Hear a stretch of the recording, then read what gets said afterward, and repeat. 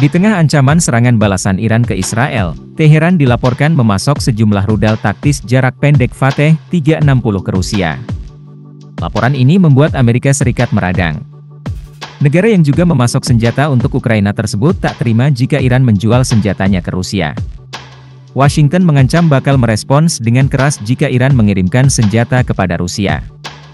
Laporan itu muncul pertama kali di media Amerika Serikat, The Wall Street Journal, WSJ.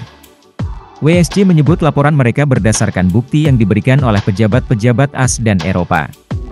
Rusia dapat bersiap untuk membeli rudal buatan Iran akhir bulan ini karena Teheran dan Moskow memperkuat hubungan mereka yang semakin dekat di tengah perang di Ukraina.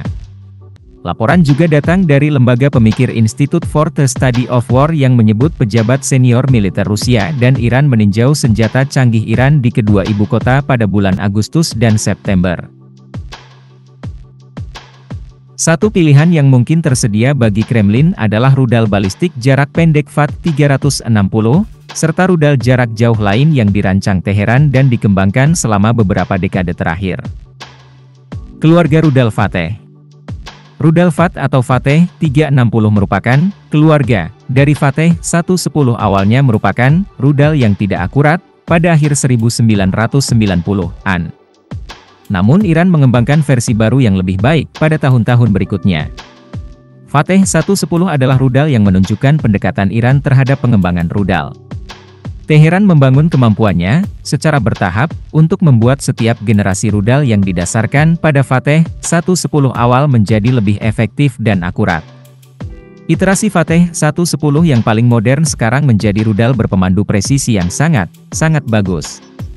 Sistem ini telah menjadi sangat serbaguna, efektif, dan mudah digunakan.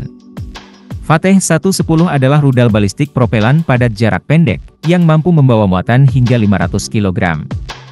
Rudal ini kemungkinan besar ditujukan untuk mengirimkan hulu ledak peledak tinggi, bahan kimia, atau submunisi, dan diperkirakan berkemampuan nuklir.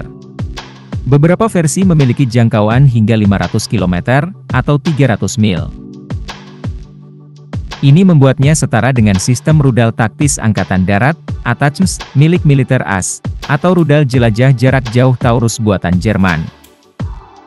Meskipun Presiden AS Joe Biden telah mengindikasikan kepada Kiev bahwa Washington akan menyediakan ATACMS untuk Ukraina, belum ada rincian lebih lanjut yang dikonfirmasi. Rudal Fateh dengan jangkauan 300 mil secara umum sebanding dengan ATACMS.